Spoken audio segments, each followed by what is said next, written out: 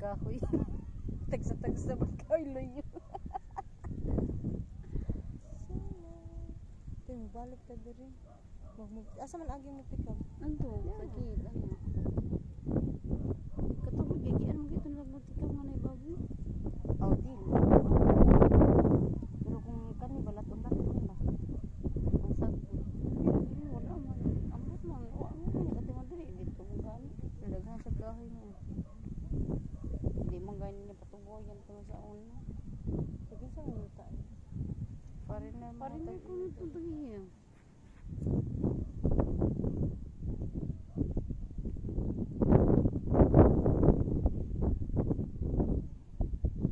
na to si Ivy ang ta diri. Katuunta bitaw tong last lakaw unta. Bitabi-tabian lang taw unta kalak.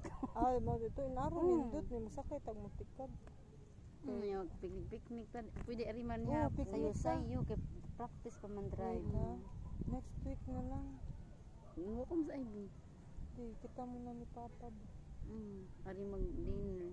Mm. Mura ko makakuyog. Di ako makakuyog sa. Dili juga po yung kay. Kuan man. Man mo. Practice. Hindi ko uli si Junior Dayo. Ha? Di mag picnic ka diri.